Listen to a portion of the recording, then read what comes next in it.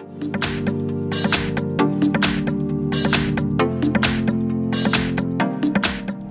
Hi everyone, in front of me I've got Samsung Galaxy Tab S8 and let me share with you how to add or remove a Google account uh, in this device.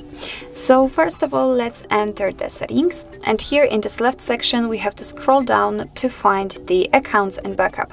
Of course as you can see under it we've got whole Google section, Google services and we can add or remove a Google account using it but I personally prefer to uh, do it using accounts and backup so let's tap on it and let's tap on manage accounts. Uh, we do not have any accounts added, so let's tap on add account. Choose obviously Google and make sure that you've got the internet connection because it is required. And from this step we can either create a new account if you do not have your own yet or simply type your email or phone. So let me do it. Uh, which is also quite cool option. You do not have to enter the full email address. Um, all you have to enter is the first part before the add symbol and then your device will simply uh, fill it automatically. As you can see, it, it has been filled. So right now we have to enter the password and let me do it, uh, of course, uh, off the screen. Alright, let's tap on next.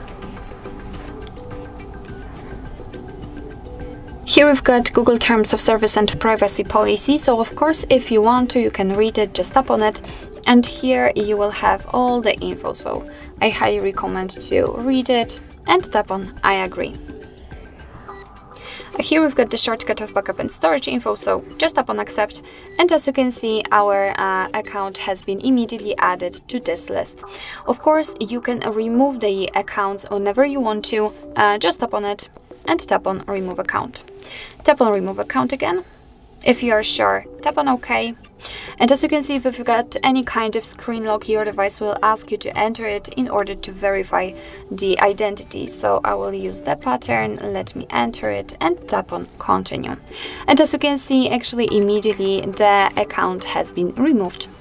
So actually this is it. This is how to add or remove a Google account in your Samsung Galaxy Tab S8. Thank you so much for watching. I hope that this video was helpful and if it was, please hit the subscribe button and leave the thumbs up.